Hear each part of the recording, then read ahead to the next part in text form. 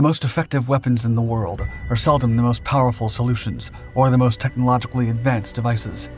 Instead, it's often the armament system that can be produced affordably and reliably which can change the fate of a war. Under such a perspective, the United States, Saab, and Boeing recently joined forces in an unprecedented operation to unite two of their most efficient, time proven, and affordable weapon systems and merge them into something capable of shaping the future of modern warfare. The idea is to take the raw power, precision, and compact size of the GBU 39B air to ground missile and the reliability and mobility of the HIMARS missile launcher platform to create a formidable new ground artillery solution, whose parts are already in mass production. The missile has been part of the U.S. Air Force arsenal for almost two decades, while the HIMARS redefined the concept of mobility and efficiency in ground artillery armament. By combining the two, the Weapon Manufacturing Collective promises to bring affordable and reliable new solutions to the world's most brutal conflicts the weapon is now being rushed to the Ukrainian battlefront, where it will be tested in combat for the first time, while boldly taking massive aerial firepower to the ground.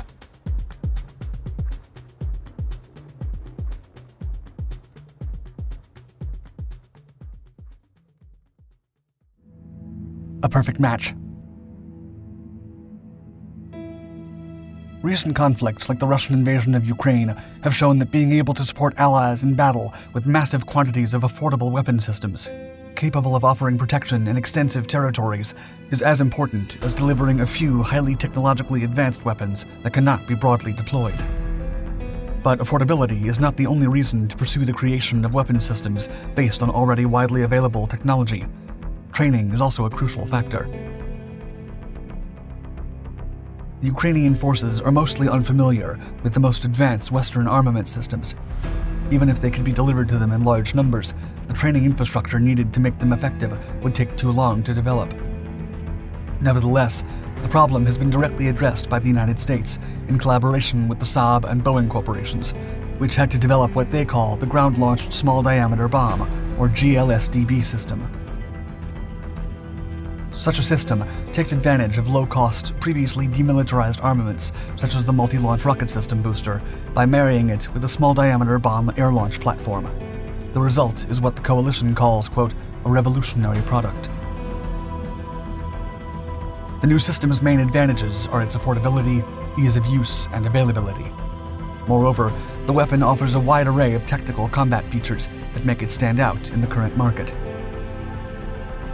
In addition, the GLSDB integrates the air-to-ground GBU-39 small-diameter bomb and the M26 rocket motor, widely available in U.S. stockpiles, and is equipped with GPS guidance, can overcome electronic interference, and can be utilized in any weather condition. According to Saab's website, it can defeat armored vehicles, launch attacks against air defense bunkers and caves, and has a margin of error of less than one meter. The system is unique in that it combines a long range with the capability to fire up to six weapons simultaneously. In addition, it has a new ground artillery feature, enabling it to target any angle, including those on the reverse slope of mountains.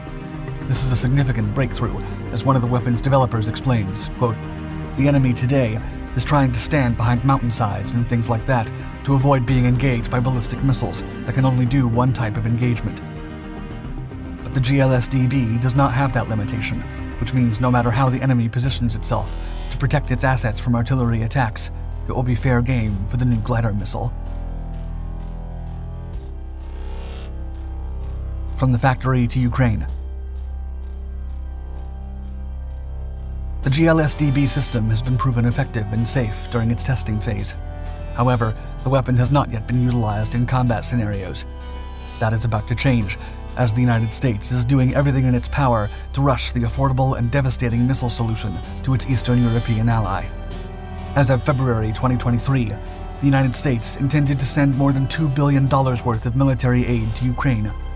More than half of that money would go into the newly created Ukraine Security Assistance Initiative, or USAI, which gives President Joe Biden's administration the ability to acquire weapons for Ukraine directly from the arms industry, rather than from American weapon stocks. The USAI funds will be used to purchase the ground launched small diameter bomb produced by Boeing and Saab. Apart from its multiple angles of attack, The weapon has a range of 94 miles, allowing Ukraine to target previously inaccessible targets and support its counterattacks by disrupting Russian forces deep within its territory. After the United States declined Ukraine's requests for the ATACMS missile on several occasions by claiming that its almost 200 mile range would risk escalations with Russia, the GLSDB is expected to be an ideal solution that will allow Ukraine to extend its operational artillery range without risking more tensions. While the US and most European countries continue to be hesitant in providing Ukraine with more advanced weapons capable of reaching further into Russia, the GLSDB appears to be a formidable compromise that significantly expands Ukraine's reach and ability to defend itself without overstepping the often hazy line that would lead to more conflict with Russia. Shut up, glide down.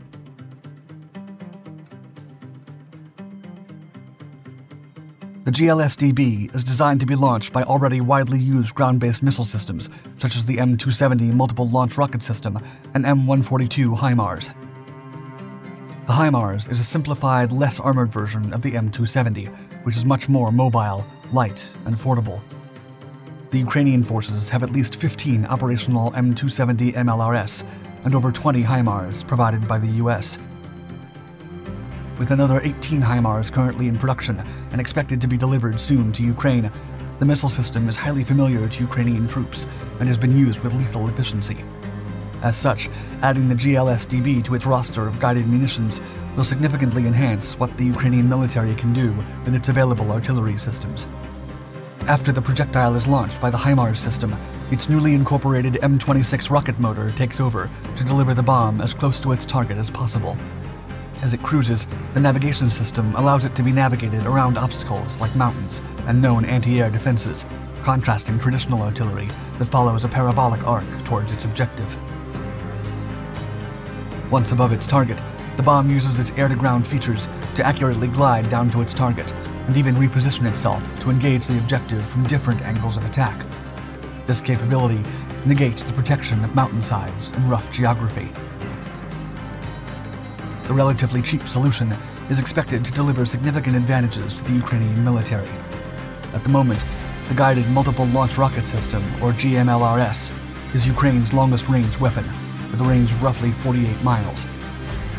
As wartime technology evolves, more projects such as the GLSDB can be expected to appear as the world demands an effective and affordable solution that can be developed out of already available components. Only time will tell how this new development will reshape the future of how wars are fought.